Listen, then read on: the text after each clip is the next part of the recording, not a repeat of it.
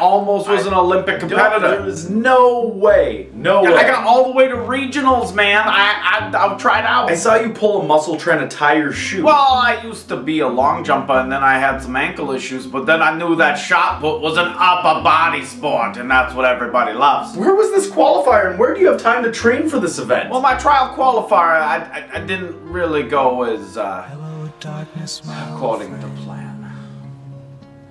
I've come to talk with you again. Hello, everybody, and welcome to our regional qualifier. We have a bonus entrant here, clearly a write in with the name IP Freely.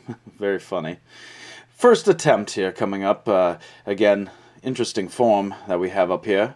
Uh, and, oh, not exactly the distance that he would want on this one. Hopefully, he makes better on his second attempt as he goes through.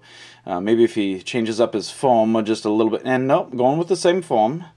And even worse than the first one. Oh! And tragedy strikes there, as we have just experienced a dark day in put history.